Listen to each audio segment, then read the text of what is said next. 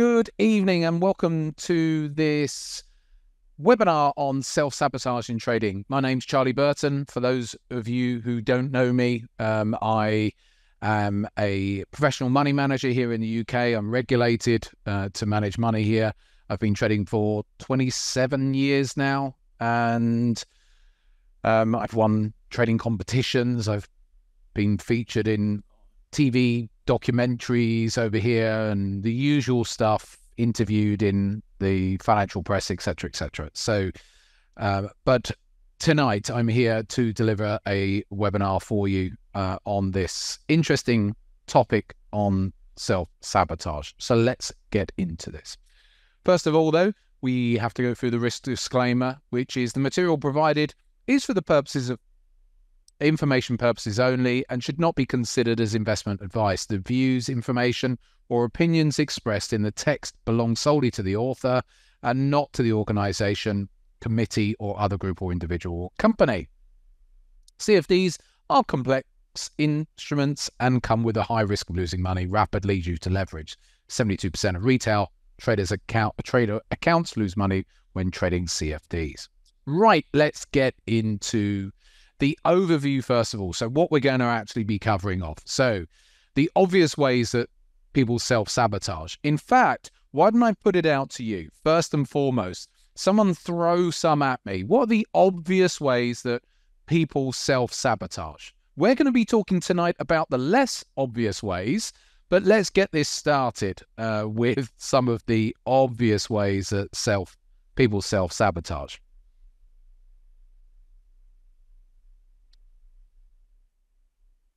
Overtrading i'm seeing chasing losses greed revenge trading. Yes exactly. Yes uh, manufacturing trades uh, yeah out of nowhere forcing a trade. Yes exactly. Yeah. Okay we've got that. Um yeah self-sabotage with no stop losses of course. Of course yeah. Pride fomo wow they're all there. So that's the obvious stuff. What we want to do is delve into the the subtler arts of uh, self sabotage here tonight and look at the less obvious ways that that that can affect really up to 90% of traders. And so and that you know they unwittingly fall into. So what we're talking about here are the things that tonight there's two ways i'm going to pick up on. Two ways that up to 90% of traders unwittingly fall into. So, and we're going to look at how to test if you're part of that 90%, what adjustments you can make, and what the stats tell you to. So, there's a fair bit that we're going to go through. I'm going to show you some um, some visuals on here as well of some some tests as well. However, first, I need to go through this with you, like I did um, last month as well. And this is this little microsite that I have uh, with Tickmill. So the the website address is tickmill.link forward slash Charlie Burton. We'll come back to that, but I'll show you what it actually is because that's where if people haven't seen previous webinars, that you will be able to see them. This is this microsite. I've just given the website there.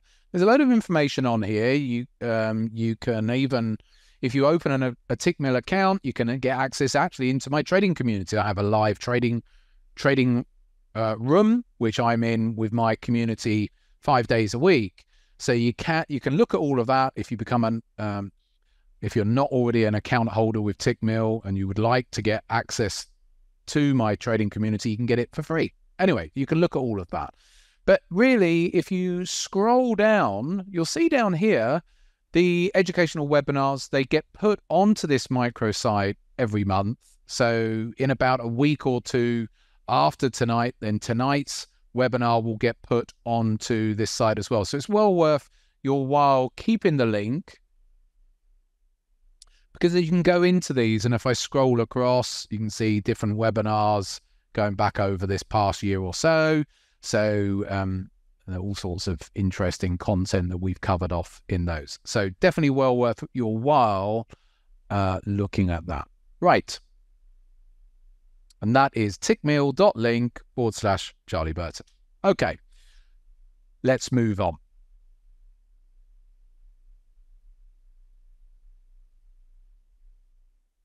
So, the less obvious types of sabotage. now, these really do need considering. But first of all, I'm going to start you off with a trader story. Now, this trader story was is really recent. I was literally talking to this trader just the other day, and he'd been in a trade, and price had been coming up. Can you see my pen as I'm putting this onto the screen? I just want to make sure that you can see the. Yes, you can. Right, good. So price had come up, old back, um, and he'd been in this trade from back down here somewhere. Okay.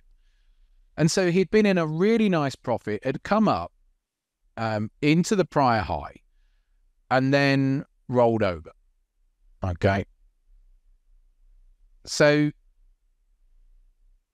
he said, Oh, I'm never going to do that again. I'm never going to hold on again um, every time that this happens, when I'm in a trade from down here, um, I'm not going to. And if it comes up and does this again, basically a double top in price, um, I'm gonna. I'm just gonna bank it. Okay. And I said, well, that's fine to have as a plan, but the problem it, with this is that he's basing this decision on one event. so maybe it happened to him on another event as well, but it's basing the decision ba- uh, on one event. So this is so, so common in trading that traders, something will happen to a trader and then they will then make adjustments to their trading.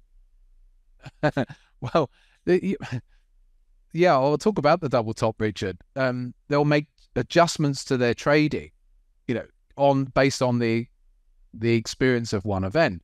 Because at the point that price was up there you don't know that it's going to be a double top of course. At that point price could have carried on going higher. So it's all very well saying well when price comes up to here i'm going to bank it and that's fine. If you want you know if he wants to adjust his plan so that every time price comes up does a pullback and then comes back up to the prior high that he banks. Well, yeah, that's a that's a new trading plan. What I'm what I'm saying is that that this is a classic example of someone reacting to something that's happened. When actually, how much of the time does price do pullbacks and and then go on to make new highs? So it's okay to bank his profit and say, you know what, I've had enough. And if that's his plan, that's fine. But he's got to, what he's got to be careful of is he is the same trader that will then kick himself if he takes that next trade and it carries on going higher. Then he'll be like, oh God, why didn't I hold on to that trade? so what happens is a lot of traders will react to the the thing, the experience that they've had. And based on what the price has done on that event or maybe on just a couple of um, on a couple of events and then they start to think well i've got to do something. I have to change something. And my point is he doesn't have to. And if he wants to and say right that's it i'm going to always come out when there's a potential double top in price there's nothing wrong with that change your plan. But at the same time don't then moan and then start changing your plan again when you get into some trades that become those monster trades and just keep on going. So you can't have your cake and eat it. so yeah, I thought it was an interesting story because it leads into this whole sabotage because potentially he could be sabotaging himself. And I'll explain as we go forwards here. Now, I appreciate people are writing comments, but I, I can't keep the, reading the comments whilst I'm in mid flow now. So uh, yeah, he, sorry, he could close half and do that. Absolutely, you know that those sort of things are options. Okay. So, is one or two instances where a trade has reversed enough to justify changing the strategy? This is the point. Is that enough to justify changing the strategy? Now, log- logically, we know it's not. We know it's not. But people constantly change their strategy on very little data. That's the problem. So, what we're talking about here is essentially strategy hopping. So, strategy hopping is a less obvious type of sabotage. We've talked about the obvious stuff revenge trading, all the things that you wrote down earlier on FOMO, fear, over trading, all of those things. This is a more subtle one. And this is one that I think is very, very common out there where people have an experience and then think, oh, I don't want to trade with this strategy now. I'm going to ditch that. I'm going to move on to another one. I'm sure many of you who are here tonight can could hold your hand up and say, "Yeah, I've done that," because most of us have done that at some point in our past.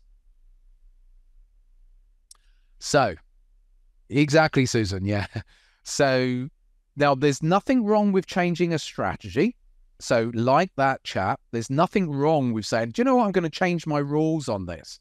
But like I said about that example earlier on, but don't moan when when something else happens, like in that example, and it, and, you know, and his next trade becomes a, it, it, would have carried on going higher and higher and higher, and then get, oh no, I want to change again. So you've got to properly embrace it. So let's um, move on from this. So there's nothing wrong with changing a strategy, but has it fallen outside the historical performance norms? So this is where you need to um, go back and test your strategy, your approach, because a lot of the time it may not have done. So if you, for example, if let's say your strategy goes into a drawdown period. So let's say for whatever reason, doesn't matter what the numbers are. So let's say you go into, you know, you're into a 10% drawdown. Okay. So your equity curve uh, is pulling back and it's pulled back from its last peak by 10%. And so in this example, this would be a typical sort of example whereby someone would say, "Oh, I don't like this strategy anymore," and they ditch this strategy and start looking for something else. So the point is, has it fallen outside of historical performance norms? So if you go back to, if you've got the back testing data, and if you haven't got that, you should have at least um, journal your trades. Or, and if you don't at the moment, start um, journaling your trades. So you build up a history of trades. Because you might say, well, actually, your data may say, actually, with this given approach, a 10% drawdown historically is perfectly within the realms of its natural ebb and flow of equity. So, and in, so in fact, yeah, 10% is perfectly normal. So, and if you're looking to jump around, well, yeah, this is you're now getting to sabotage because just at the point when you're jumping out saying, I don't like this, and you're moving on to another strategy, this strategy may be that it starts to hook up again. And if you'd have just stayed with it, you'd have been back at new equity highs. So, uh, like I've said, this is the stuff that people do all of the time. This is the less obvious stuff. But strategy hopping is very, very common. And it's something that very easy to do, but you just need to go back over your historical. If you log your trades, go back over all of that and see, okay, am I making this decision because I'm looking at my P and L? Because is the strategy performing still within the realms of its historical drawdowns? For example, in that example, you know, it may well be that that particular strategy has a historical drawdown, max drawdown of let's say 20%. So you're only you know, well within that that historical realm uh, boundary there, and yet you're looking to ditch it. So you've got to be careful there. So uh, lean on your data, go back on that if you're using a mechanical based approach. Um, if you're not, then start logging your trades. And um, because everybody should log their trades um, so that you can go back and look at your own data. So, has it fallen outside of the historical norms? If not, are you doing what 90% of traders do, which is jump around? Okay, so review your journal. Did you miss any trades, any errors? Because again, when people start looking at things like, in this example, a drawdown, and they want to jump around, um, that chap that I was talking about earlier on wanted to adjust his strategy purely based on he didn't make as much profit as he as he could have done, and then he wanted to make that change. Well, again, that's fine, but you know, uh, you need to review all of that, do some testing on it, and test your own data to see uh, are you more profitable by actually doing that, or actually are you sabotaging yourself just to make yourself feel good? And we're going to talk about that in a bit. So, review your journal. Did you miss trades? Are there any errors? Because a lot of people will judge themselves based on the, the you know their P, their P and L, but actually there might be trades that you've missed, trades you've hesitated on, errors you've made, you've jumped into a trade. All of that will be in your your trade log if you log your trades. And so that is what determines your performance, not the actual P and L if you if you review constantly what you're doing, and then you can say, well, actually, yeah, your P and L might be whatever it might be, but it would actually be so much better if I hadn't have missed those trades or any of those errors that I've taken. So reviewing your journal is really important here. That may show, like I've already said, that there's actually nothing wrong using that 10% drawdown as an example, like um, that that chap that I've already talked about who wanted the double, you know, with the benefit of hindsight, when price went up, pullback came back up into that high, and he uh, he opted not to bank, and he wanted to hold on, and it and it rolled over. So he's now using the benefit of hindsight based on this, the the fact that it pulled back over, that he could have made more money by banking it up here. But as I've said, well, how many instances would there be where price actually just keeps going? He needs to look at that. And then, only then can he make the decision as to whether he wants to change his exit approach. So, all of these are potentially self sabotaging because he may, going back to this again one more time, using that example, we may say, no, that's it. Every time it comes up, does a pullback, if it does a pullback and then comes back into that high, I'm going to bank. Well, that's fine. But again, what's the data on that? Is there, in fact, by by banking here, yes, that's fine on this trade, but how much of a sacrifice are you having by missing out on those ones that do carry on going higher? So only he'll only know if he tests this. So it's uh, the subtle art of self sabotage um, because he may actually find that he's making a lot less money by trading that way rather than the original approach. He was just reacting. So, anyway, let's move on. Oh, let's turn the pen off first of all, then. Okay, so if you want to change the approach like that chap to suit your personality, that's absolutely fine. Because that chap may say, yeah, I don't want to hang on to that trade. My personality is such that I just want to bank it. Providing the, you know, the data supports it and it's still profitable, well, yeah, that's fine. But definitely needs to look at, well, how much of a sacrifice is he potentially making by doing that? But anyway, so that's fine. But just ensure don't become a serial hopper and constantly be tweaking your strategy just based on your most recent performance or the most recent experiences. Okay, so what we're going to do now is we're going to move on to another kind of subtle self sabotage. I'm just going to show you some back testing data. Note that this is purely back testing. These are, I've just used some software to create some simple, a couple of simple back tests here. Okay. So let's have a look at this. So this is just showing a back test of a given strategy over a 10 year period. Okay. So its total return here. This is purely back testing, like I've said. So the total return over the over the back testing period was 229%, giving an annualized return in that of 10, 10.7%. The maximum drawdown that it had over that period was 26%.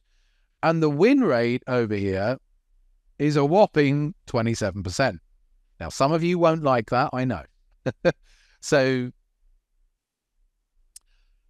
remember these numbers 229%, 10.73% annualized return, drawdown of 26%, and a win rate of 27%. Okay, with this given strategy. Now, this it, this strategy at this this point um, takes a trade. So as an entry here, and it has a stop loss, a given stop loss, and it has a given uh, target up here. Take profit.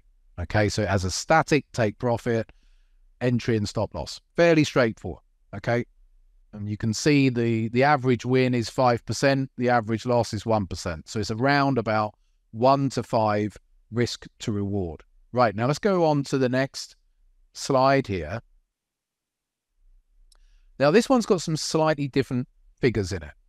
Note, first of all, the win rate has jumped up to 55%.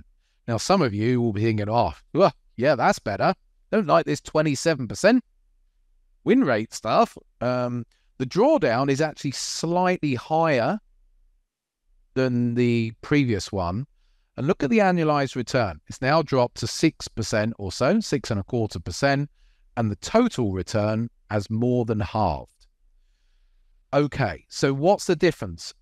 The strategy is exactly the same. The only difference is the stop loss gets moved up to break even. Yes, ladies and gentlemen, it's another massively common theme with traders wanting to move their stop to break even. Now, there's nothing wrong with moving your stop to break even.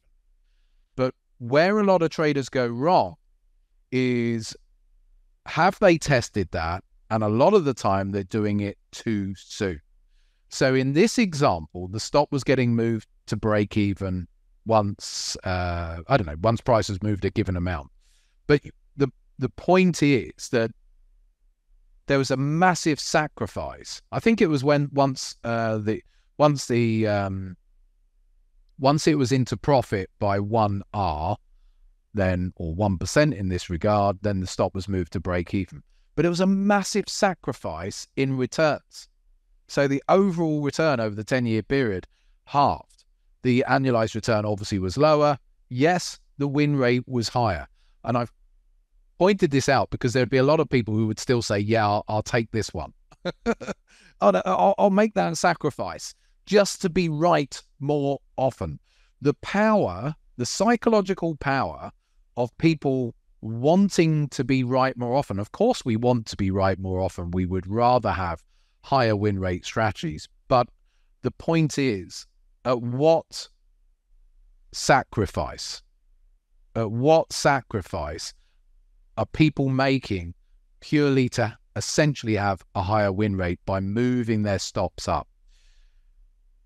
It's something which, don't get me wrong, certain strategies will work well will will be improved by moving stops to break even at a given point. The point of this, what I'm showing here though, is have you tested it? Because that example shows how moving a stop to break even could damage overall performance. If you move your stop, do you know for a fact that that's the best approach? Again, this comes back down to are you sabotaging your total performance just because you want to make yourself feel good? Because that's what it comes down to a lot of the time. People move their stops up because then they can say, oh, it's a risk free trade. Well, is it a risk free trade if it's affecting your total performance? So, again, we're talking about going back and testing. We've tested thousands of systems, myself and my programmer We've tested thousands of systems, and guess what? Yeah, you know it. 88% of the of the tests that we've done on those systems perform better by leaving the initial stop alone. Just leaving it alone. because you don't always have to move stops to break even at all. In fact, in that example, you're just better off. You're going to make twice as much money over that 10 year period by leaving the stop alone rather than just moving it up to break even just to make yourself feel good. Yes, you'd still make money, but it's that sabotaging of profit that goes on.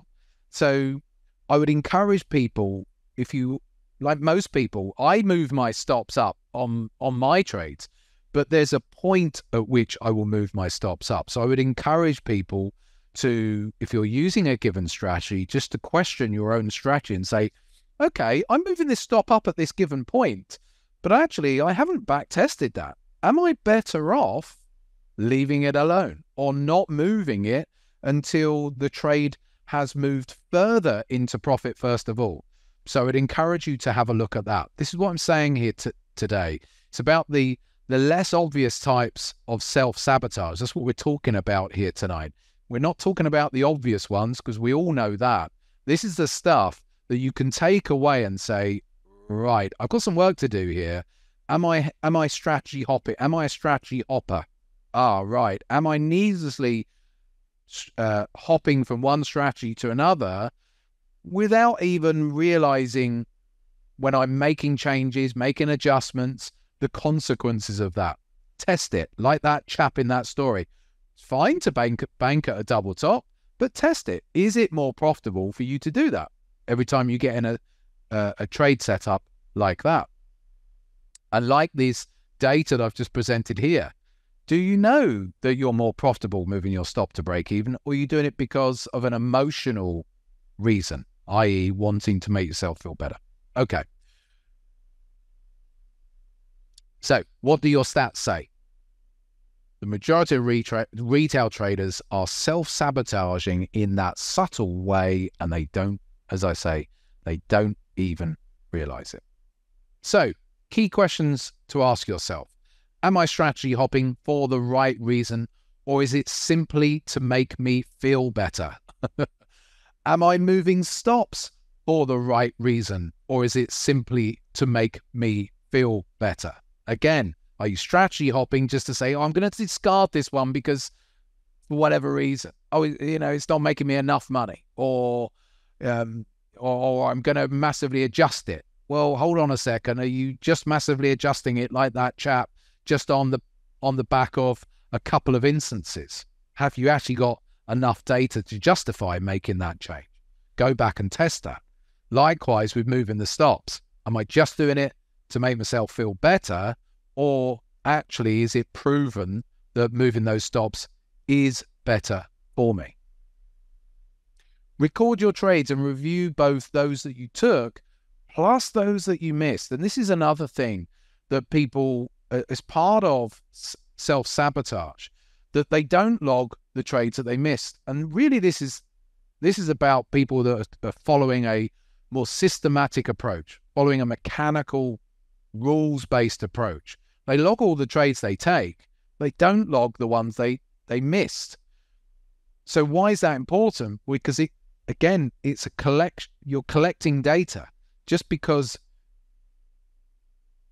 those ones you you missed for whatever reason doesn't mean to say they shouldn't be logged because at least it's giving you that information to tell you whether overall that strategy is even more profitable just because you may have missed some, maybe you hesitated because you'd had a couple of losses beforehand and um, and fear gripped you a little bit, all of those things. So it's all self sabotage, really. And even when logging a trade, we can be self-sabotage and if we don't log the ones that we missed. So, really useful to do that as well.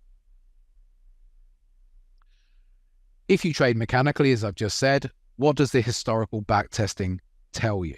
Simply looking at these two parts of your trading can result in really significant performance improvements. So, subtle, yes, but could dramatically change your trading without you having to go and find a new strategy or and with regards to moving stops it you may well find your that your strategy you're sitting on is actually a little gold mine if you just left the stops alone for a bit longer. So, really worthwhile having a look at that. And finally, now, um, okay. I thought that, so we've pretty much covered that. I said it would be a, a shorter webinar tonight as far as the actual presentation element. I've just got a couple of slides more to go through here. I had to, I thought, I found this funny, and I've got a couple of sentiment slides here. Um, this from Forbes, actually a few months ago.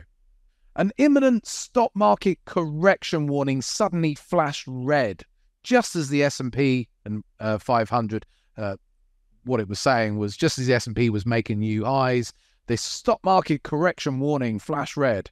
Well, um, right now, uh, this was a few months ago. Most of you know where the, what the stock markets have done uh, this year, and the S&P and the Nasdaq particularly, um, and the Dow. Um, they keep on, they kept on making new highs.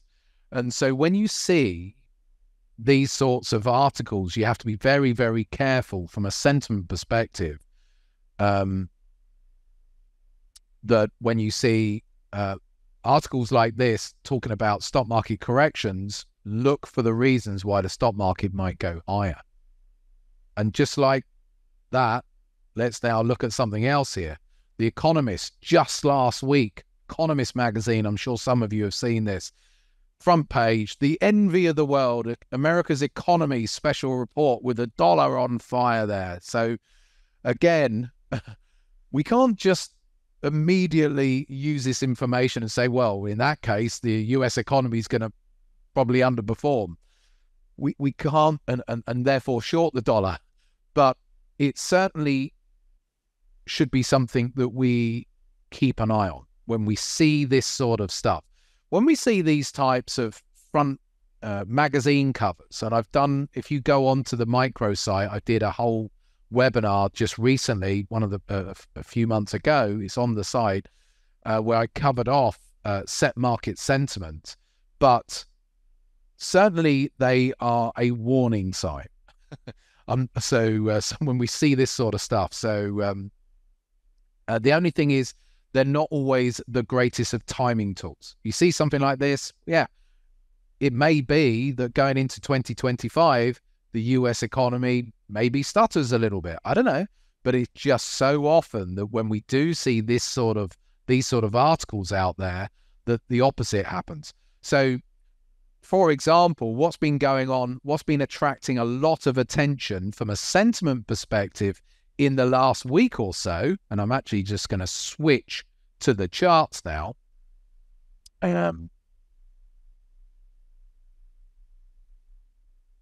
there you go. Sentiment extremes. Uh, there you go. There's a webinar there on the um, on the microsite. But if I bring up uh, gold here, gold has been attract has been attracting a lot of attention lately. So Lots of articles talking about gold going to the moon, gold going to XYZ prices, and all the reasons why gold's doing so well and is going to continue to do well. The problem that we tend to have when it comes to sentiment is journalists, financial journalists, aren't going to start writing about something until it's already had a great run. So gold is starting to get picked up by the masses now because the masses are starting to hear, oh, gold's having a really good run. I need to get into gold. Paul Tudor Jones, one of the world's most famous hedge fund managers, was in, uh, interviewed on CNBC just two days ago, talking about how he owns what? Gold, Bitcoin, and that he sees them going a lot higher. Now, people would say, well, Charlie, surely Paul Tudor Jones, one of the world's most famous hedge fund managers, in the original Market Wizards books, if he's saying that, oh, I've got to get in. Well, it's a, you know, there's an element of context there. You also have to appreciate that hedge fund managers may talk up their own book at times. so is it in his vested interest to talk up gold? Yeah, it may well be. so gold is attracting generally a lot of chatter around it at the moment. So, from a sentiment perspective, like those um, articles I've just shown, I'm not saying that gold has to come down straight away just because everyone's talking about it. But what we are starting to see is the sentiment towards gold is starting to get frothy. So I just think it's um, a warning sign. It, it's not a timing signal. Don't these sorts of things are not always the best of timing uh, signals, but they are certainly a warning sign that the, a given market or economy may be getting a bit frothy and so start start to look at technical levels that markets may be going into. And and certainly be aware when when everybody's long who's left to buy. So as gold is making more and more news headlines at some point it's probably going to have to take a breather is what i'm trying to say so i'm personally i'm you know i'm um i am personally invested in gold and silver I have a vested interest myself in gold, silver going higher, but I also appreciate that they're going to have to pull back at, at points as well. So I'm very uh, uh, attuned to uh, the rhetoric that's going around at the moment. So it doesn't mean to say the gold has to top right now. I'm not saying that, but I'm saying it's starting to get frothy from a sentiment perspective. So it may not be that, you know, gold may carry on making new highs for the next couple of months. But certainly if that was the case, then that rhetoric, that um, frothiness is only going to get, that euphoria is only going to get stronger. So I will then certainly start to get a bit cautious as it gets closer to what? Big round numbers. Where are we at at the moment? Oh, yeah, 2,700. We're not that far away from, tw- uh, from 3,000 now, are we? So just um, a point of note there. So again, back on my micro site, I talk all about sentiment there anyway. Right, let's go back over to, oops, um, the last slides here. I don't know if there's anything more here. Yeah, the final slide here, then we'll take questions. Again, from Bill Lipschutz. Now, Bill Lipschutz was again another Market Wizards. I think he was in new, the second Market Wizards book. And he said, if a trader is motivated by the money, then is, it is the wrong reason. A truly successful trader has to be involved and into the trading itself. The money is the side issue. The principal motivation is not the trappings of success, it's usually the byproduct. Simply stated, the game is the thing. So if you can always keep that mantra for yourself, yes, everybody who gets into trading is in it for to make money but you've got to enjoy it. You've got to be passionate about the art of trading. Because if you're not passionate about the art of, of trading, when the markets aren't doing what you want them to do and maybe they become frustrating, what are you more likely going to do? Become frustrated, bored, or just, you know, throw in the towel. You have to in, really engross yourself. And that's what Bill's saying in and be passionate about uh, trading in its entirety. And um, there we've got our final slide there, which is the risk disclaimer again. Okay, right. Um, nice and succinct here tonight. Let's have a look at some of the any questions or comments that have come through here. Uh, yeah, so someone said, asked uh, Jeffrey if you're still there. Uh, the recorded session. Yes, the recorded session. If I go all the way back through the slides to the beginning tonight. Oh, there we go. Um, if you've come in late, if you take this link, tickmill.link forward slash Charlie Burton, um, that is that microsite where these webinars get put onto. So I suspect tonight's webinar will will get put on over the next week or two. Um, it sometimes takes the uh, the technical people at Tickmill. They have to chop up the the beginning of the webinar and then put it on. So it usually takes a week or two. So all my past webinars, you will see, just scroll down on that page and um, you can access those. Hopefully that's um, answered Jeffrey's question there. Uh,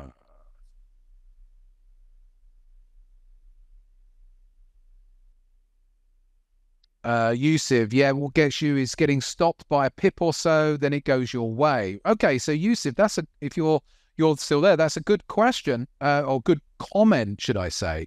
So, again, have a look. It may well be that your stops are too tight. If it's happening a lot of the time, then that tells us that your stops at look at your stop placement and you might have to just have a slightly wider stop uh, than you're currently doing. Because if it's happening a lot, then that suggests that there's that's just a stop placement issue.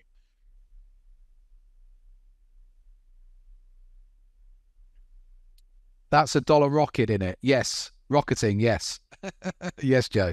Uh, where or how can I backtest a strategy? Oh, um, well, uh, Dino, you can you can manually do it. So you can manually scroll back the charts. There are pieces of software such as Forex Tester that you can, if you want to use some form of programming, so you can use that as well. So there's loads of way to do it. You can just Google it, but there's no substitute for just bringing the chart up and manually doing it as well. I still like old school back testing and logging all of the the historical trades. Um, where do you find the sentiment headlines? How can we track these? Ah, Mahesh, uh, that's my job. so I'm always scouring around um, Twitter, uh, Google searches, you name it, Mahesh. So um, so yeah, always scouring around in my commu- in my trading community. Sometimes it's some of my members will bring up a um, I've got one from today actually. One of my members just sh- saw this today. So look, I'll bring this up. Uh, let's bring this across. So this was again quite interesting from a Gavekal re- research. So quite popular in America, but this is almost like a a sentiment indicator here because they've said, look at the look at the lineup here. U.S. bond yields will never return to their post 2008 trading range. Well, the post 2008 trading range is down here, basically below 3.2%. Okay. So what they're saying is, yeah, bond yields are never going to go back below 3.2%. Might well be there's a sentiment indicator in there, and maybe they do. so, uh, yeah, within my trading community, we we yeah, people will say, "Oh, have you seen this or have you seen that?" And and so yeah, um, but yeah, I'm on the lookout for those things as well, um, Mahesh. So yeah. Uh, what software do what do I use for backtesting? Well, David, I will always backtest manu- something manually first myself, and then I have I've got my own software uh, that that my programmer put together for me that myself and my and my trading community use. So that's that's my own stuff stuff. So if you're if you wanted to become part of my community, then by all means you you would then be able to get access to that. But um but otherwise, yeah, just manually do it. Just bring up the charts, scroll back. I always, if I'm looking at any brand new strategy, I always manually backtest it first of all before I actually hand it over to be auto tested because I want to see it. I want to see the price bars, how the price bars react, how they move.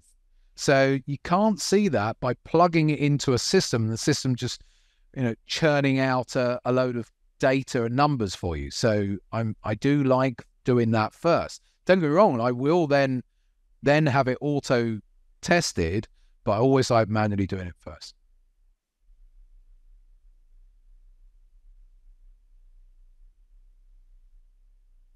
Carlos uh, is saying, as a trend follower, choppy markets must be hard for you. I know you don't strategy hop, but do you have other methods to cope with choppy method uh, markets? That's a really good question. Um, no, uh, that comes down to the psychological side of things, Carlos. I don't tend to jump around as you as you've said. So if a market goes into a choppy period, I don't make money. That's it people are like, oh, well, that's that's a revelation. yeah. If a market goes into a choppy period, I'm not really going to be making any money. I need a market to um, and I I accept and I'm, I'm okay with yeah of course markets are going to go into choppy periods so I'm not going to adjust and try and jump around all of the time because I know that over the longer term that's actually not going to that you know just as you jump around then a market breaks out. You know, so um, so no, I just stick with what I do and accept there's going to be periods where I'm going to get chopped up. Yeah. Uh, Adnan, how do you become a member? Well, um, well, you can become a member for free here. That's why I, that's why I gave you that link earlier on, the tickmill.link forward slash Charlie Burton. So um, have check out that webpage. Yeah. Uh, am I right in thinking that uh, this is from Richard? There's a lot of questions coming through here. Some of you are posting them just to hosts and panelists, and some of them uh, you're you're posting uh, so that everyone can see them. It doesn't really matter, but just change the drop down box if you want it so that everyone can see your question. Am I right in thinking most people are taught the same placement of stop loss, so stop hunting is a given, so you should place your stop in a less obvious place? Okay. Um, the answer is twofold to this. It's a really good question. Um, uh, okay, let me bring up a chart. Let's use gold here as a nice, uh, as a nice example. So, what Richard's um, saying here is the traditional places to place your stop, i.e., you've got in, I don't know, so let's say you've got in over here somewhere. Pop your stop below the low there. Okay, so the traditional places to place your stop uh, are, you know, you're going to get stop hunted. Well, no, not necessarily. Only if a market wants to go that way. There are plenty of examples like this one here, where price even here just did a pullback here, wouldn't have come back and stopped you out. And likewise over here. So if you've got in over here somewhere and you've put your stop below that low, no, you've not been stopped out because it's moving in a certain way where it's not happening. Don't get me wrong, there are there are going to be times when you will get stopped out on your low here. Um, so I think there's a lot of people out there who trader gurus who prey on people's fears about getting stopped out. So they say, right, you need to have your stop in a different place. and which is fine if it works out on a risk reward basis. But what they are really doing is they're just preying on on people's uh, fears a lot of the time. One of my uh, the members of my community is an ex institutional bank trader who was managing up to a billion pounds of money. And I was chatting with him oh, a year or so ago on a microphone in a joint session. And we were talking about this very subject. And he said, Yeah, he said, do people really think that us institutions have got the time or inclination to be running, doing stop hunts for retail traders? We haven't got, we don't care about retail traders. Retail traders aren't big enough in the market to to make it worth their while to be doing that sort of thing. They're just getting on with their own trading.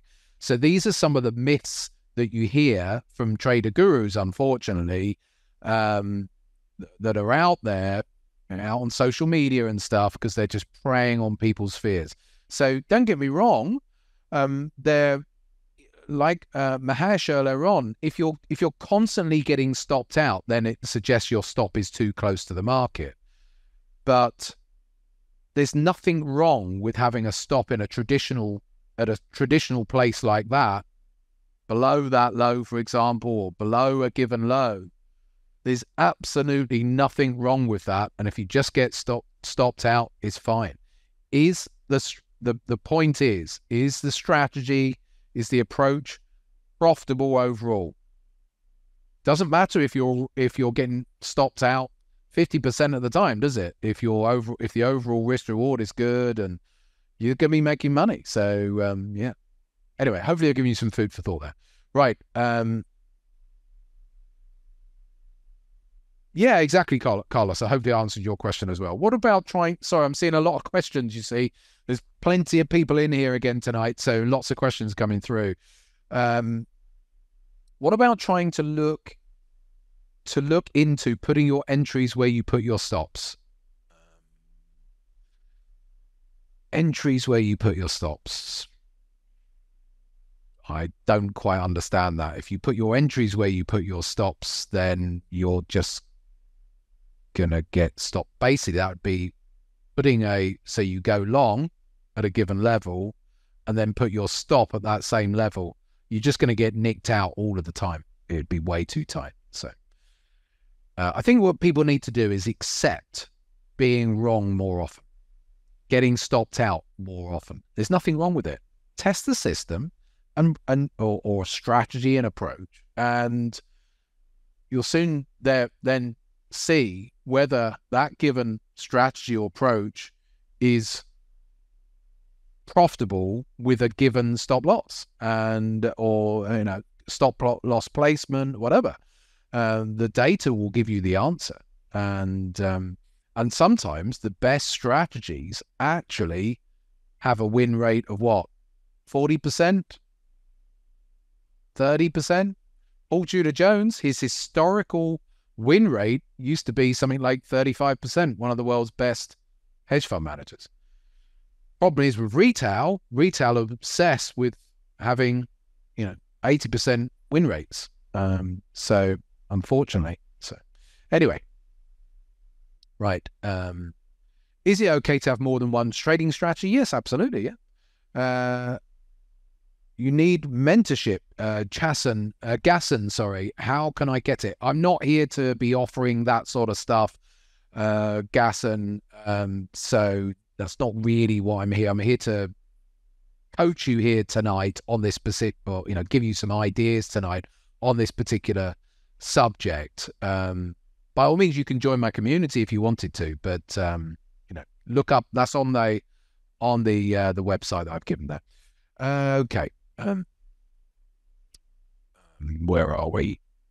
What are your thoughts on order flow using depth of market and delta footprint for entries on support resistance zone?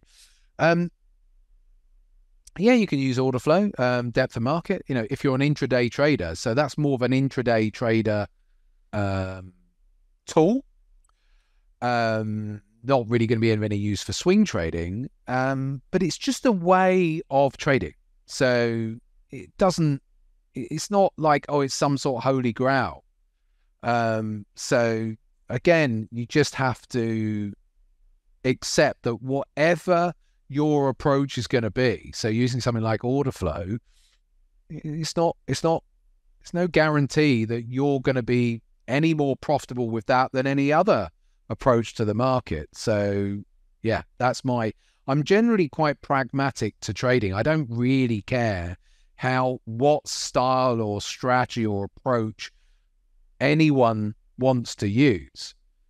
Um, the main point that I always like to make is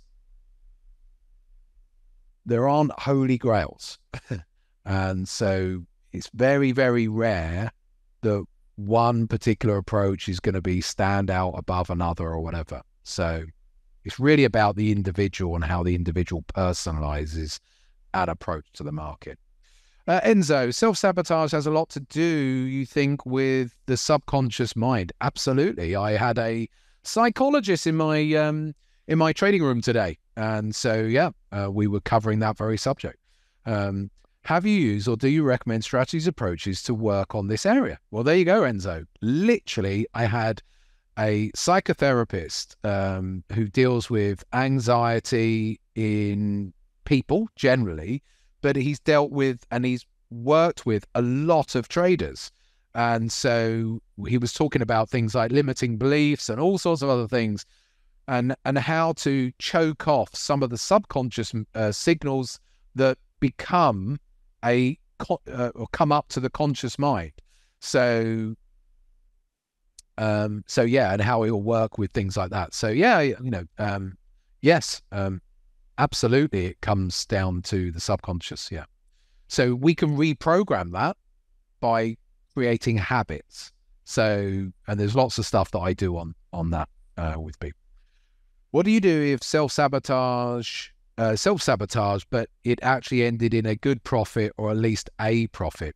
Well yusuf um if you're talking about an individual instance there so what I'm what what I'm talking about is you know people that are self sabotaging constantly, it's more like, yeah, you could jump into a trade through FOMO and it works out. Okay. So that's self sabotage. Yeah. It worked out. But if you carried on jumping into trades, you know, time after time and over 100 instances of you just jumping into trades emotionally, yeah, more likely you're going to be losing money. So, yeah, in, a, in an individual instance, um, it may well have worked out. But the problem with that, coming back to the self, uh, the subconscious, you've just trained your subconscious mind. Oh, that was okay.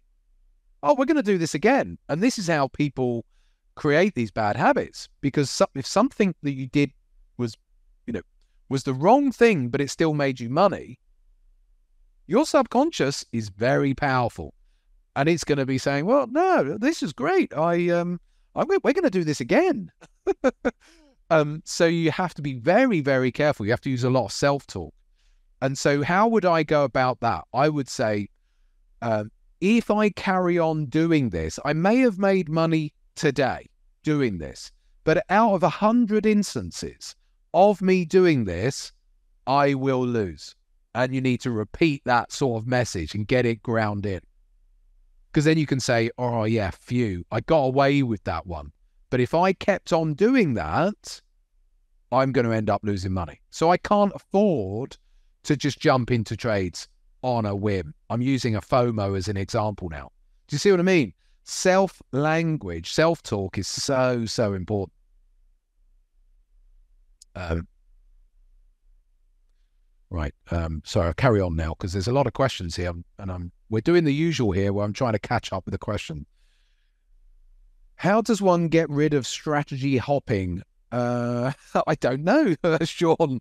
Um, again, you know, if you are a culprit of strategy hopping, like I've went through earlier on in the presentation, the data will tell you. So, but the data will tell you whether you're jumping away from something where there's nothing wrong with it.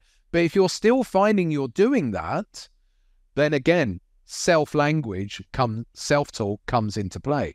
If I give up this strategy right now, only to go into this new strategy, is that going to be to the detriment of my overall profitability? Uh, yeah, I have been here before. Yeah, probably will be. Again, this self language, self talk is so, so important. Yusuf is saying one guru said stop losses are the main reason why traders fail on a big YouTube channel. Well, I don't need to know whoever the name of that because we can't share that publicly, but it's people like that who give the industry a bad name. You know, ultimately, in that they're they're they're preying on on people's need, desire to be right as much as possible. Don't use stop losses. You're just going to get stopped out. So don't use them. and if you if any of you have heard any of the interviews with the the owners of Tickmill, who are hedge fund managers themselves, they will confirm that a high percentage, because they can't control what their clients do, but a large percentage of their clients don't use stop losses. And guess what happens to them? Yeah. And we get this across any broker out there in the industry will say the same thing. You know, traders will get away without using stop losses a lot until that one trade that just you imagine if you had have said, right, that's it, I'm going to short gold down here. Right, I'm going to short it.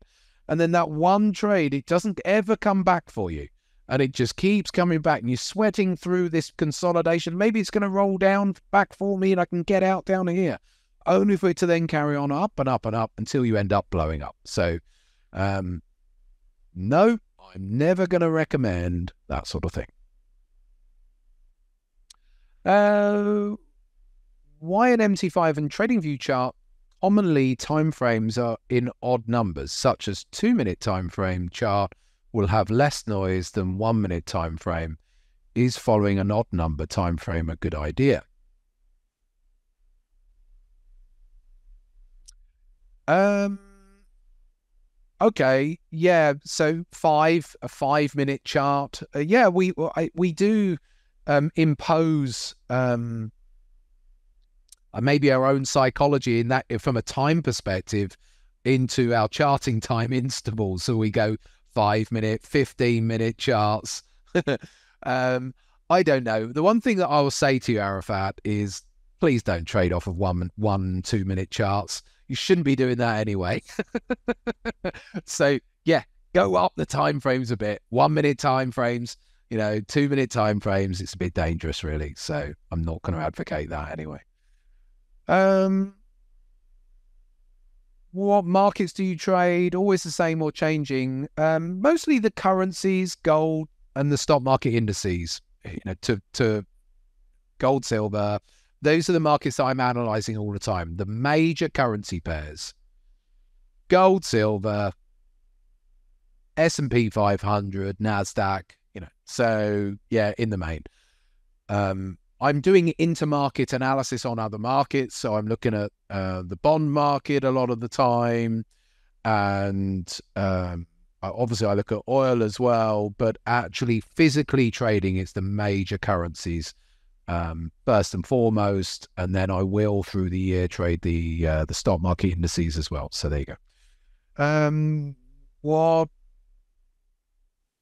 what if you know about self self sabotaging and the various ways they play out. But once you are on the charts, all of those knowledge, all that knowledge flies out the window, only to come back after you mess up. Yes, absolutely. How can you change that? 100%. That's a so common. I said it in the presentation earlier on. I'll just bring the presentation slides up if I But I said in the the presentation slides earlier on that um, that yeah, you know, logically people will know a lot of the time the things they should and shouldn't be doing. And then when they put money on the line and when they actually start trading, then that all flies out the window, as you quite rightly say there. So you're saying you know all that stuff, but once you, you know once you're in the charts, all that knowledge flies out the window. How uh, and um, only to come and mess you up. How can one manage that? Well, I know I'm a bit behind here. There's 26 new messages I haven't read yet, but hopefully I've given you some ideas as far as self talk is concerned.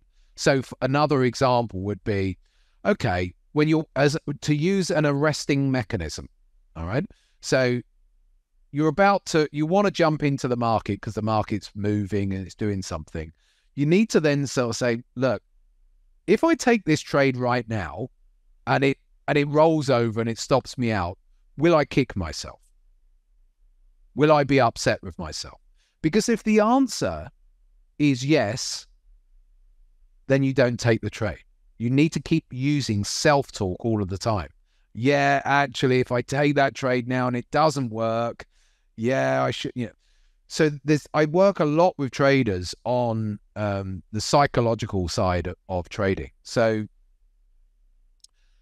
using self-talk is all important because if you say to yourself, "Well, if I take this trade right now and it and um, and it stops me out, yeah, I'll be upset with myself." There's your answer. Don't take the trade because every trade you take, if it's a losing trade, that doesn't mean it's a bad trade. It's just a losing trade.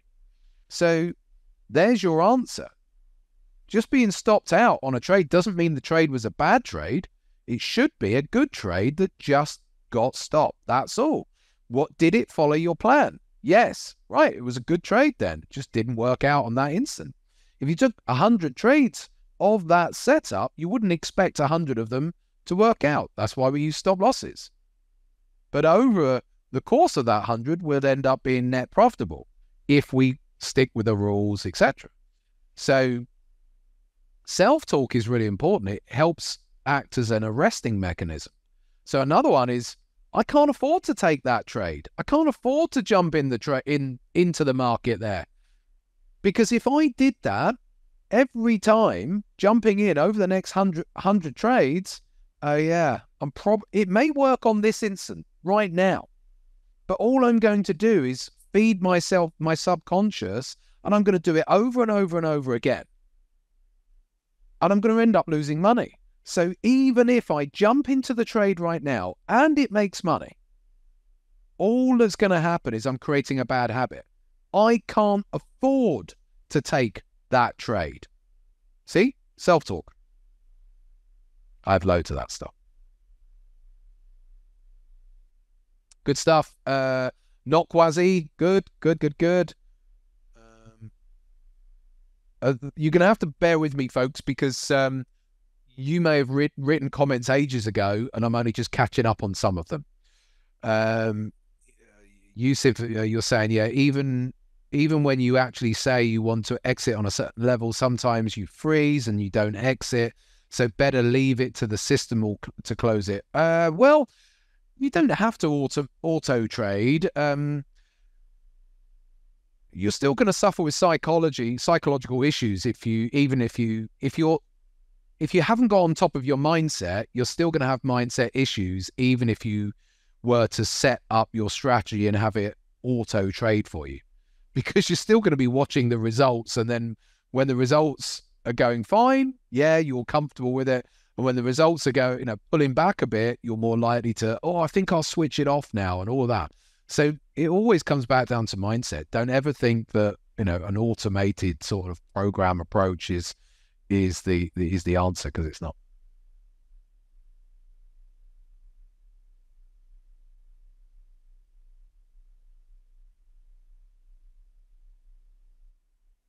Oh, okay. Uh, uh, Arafat, you're asking, yeah, why don't they have that as a default um, on those time frames? Sorry, yeah. Um, well, yeah, but you can put those in. You just manually put those time frames in Arafat. So that's you can do that in Trading View. I don't know about MT5. I'm sure you can. Um, you can do it on MT4, so I'm sure you can do it on MT5. So there you go. How important is lunch? Oh, I was going to answer how important is lunch there from Sean. Very important, Sean. But uh, lunch liquidity, um, not really that important um, to me. Um, again, you're you're coming at it from a from an intraday perspective. Um, you know, the the lunchtime period, yes, markets can go a bit quieter uh, at certain times of the day, but other days they won't. And so you know, I, am not that big on uh, liquidity as people use that word um, because there are times when markets are, um, you know, during what would you would think be a quieter period and they're not. So um, I don't think so.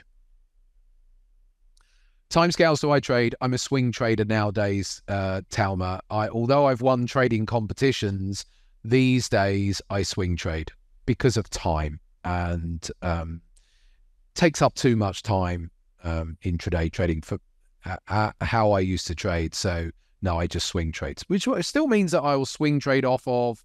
I'll come right down to you know four hour charts, sometimes even an hourly if I'm looking to get into a swing trade off a given level.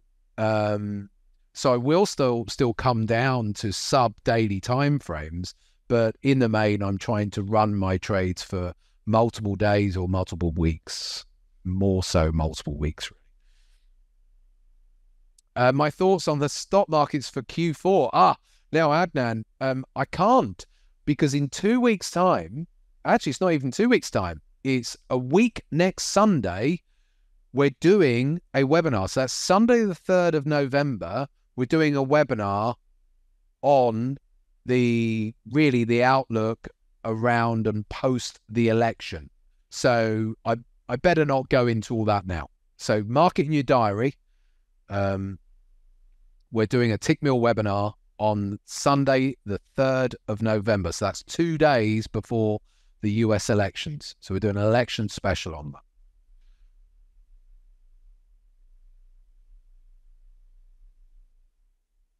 Good stuff. Good stuff. I'm seeing that.